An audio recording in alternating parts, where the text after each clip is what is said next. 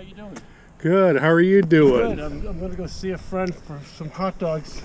When did you get that? That wasn't the one you lost, was it? No, I, after you talked to me, Uh huh.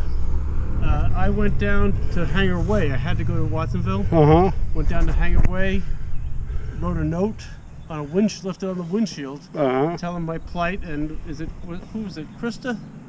Krista. Was that was that who the woman was that talked to you? Anyway, She's supposed to bring my seat down. yeah. So she talked to me.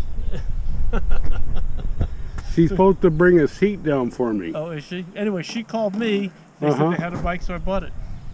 How, how much did it cost you? Uh, too much. I'm, Too much. you know, but you know what? I needed, I needed this. I I'm glad. So So, what happened to your other one? The Berica, the Bacala, whatever. Oh, the uh, Bacchetta. Bacchetta. I How? took that down to San Diego, left it with my son. Gotcha. So I like this. You know. uh, Hey, let me know when we can ride, neighbor. Well, you know, we'll do, now, where do you live here, or do you, do you have a place? I live here, right over there. Okay. We'll do I'm it. Jerry. Uh, you want my number or what? No, I got to get going, Jerry. Okay, I get see going. Get going so you don't run out of time. I got I to be there by eleven thirty. Hi, so, lady. so anyway, you take good care. Nice care. dogs. But you take care. Take care, buddy. All right. I like that Gold Rush. I have one right there. I had since 2005. Okay. yeah, because I've seen you. I remember seeing you down at Rio Del Mar and wherever the hell you hang out. I got to do that because I'm getting too much weight just sticking around the house here. I'm going.